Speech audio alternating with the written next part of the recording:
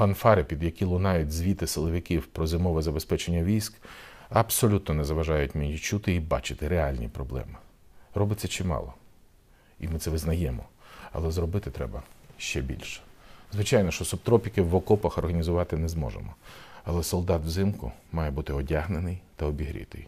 Про окопи, до речі, вздовж всієї лінії зіткнення ми зводимо три лінії оборонних фортифікаційних споруд: блокпости, протитанкові рви, загородження, довготривалі огневі споруди, бліндажі, окопи, траншеї, ходи сполучення, окопи для зенитно-ракетних комплексів і спеціальні місця для бронетехніки і танків, колючий дріт нарешті. Всі ці споруди мають стати серйозною перешкодою для тих, кому дуже закортіло б сунутися вглиб української території.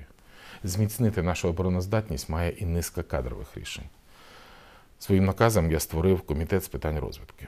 Його очолить відомий профі-генерал Ігор Смішко, який до того ж мав досвід роботи і головою Служби безпеки, і головою військової розвідки, та й військовим аташе України Сполучених Штатах Америки та Швейцарії встиг попрацювати. Звільнив керівництво Державної прикордонної служби. Нові завдання, які стоять перед прикордонниками, вимагають нових підходів. Настав час змінити і керівництво військового відомства.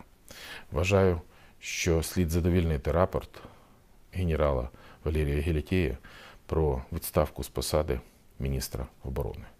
І вже завтра я внесу до Верховної Ради подання на призначення нового міністра. І з голосуванням за його кандидатуру не слід зволікати. Розраховую, що воно відбудеться вже вівторок, 14 жовтня.